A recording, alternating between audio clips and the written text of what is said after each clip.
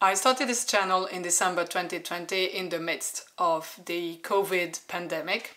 We were all stuck at home uh, during the spring of 2020 and um, I don't know about you, but I needed something to feel creative and to think of other things than homeschooling my kids and trying to work from home with my kids running around.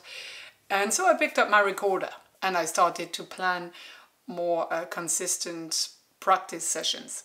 And at the end of the year, I had played so many pieces that I wanted to share them with my family and friends. And this is how I started this channel with a musical uh, advent calendar with various tunes and Christmas carols and pieces played on the recorder.